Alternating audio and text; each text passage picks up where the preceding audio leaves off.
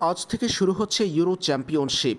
ইউরোপীয় ফুটবল শ্রেষ্ঠত্বের প্রতিযোগিতা শুরু হচ্ছে জার্মানিতে। পুরো টুর্নামেন্ট অনুষ্ঠিত হবে এক দেশে। জার্মানদের মাটিতে ইউরো চ্যাম্পিয়নশিপের এবারের লড়াইয়ে অংশগ্রহণ করছে বরাবরের মতো চব্বিশ দল। চব্বিশ দলের আয়োজিত ইউরো চ্যাম্পিয়নশিপের এই আসরটি শুরু হচ্ছে আজ থেকে। সময়ের পার্থক্যের কারণে দ্বিধাদ্বন্দ্বে পড়তে হয় এই অঞ্চলের ফুটবল ভক্তদের যারা কিনা অপেক্ষায় আছে ইউরো টুর্নামেন্টের জন্য।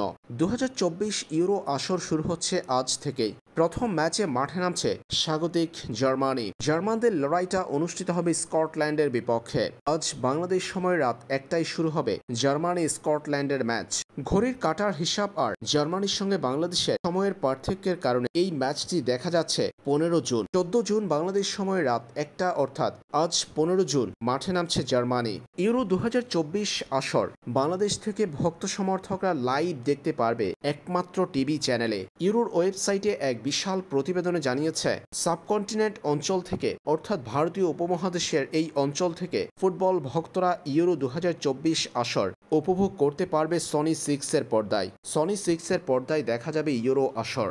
বাংলাদেশ ও ভারত থেকে লাইভ সম্প্রচার করা হবে সনি সিক্স টিভি চ্যানেলে।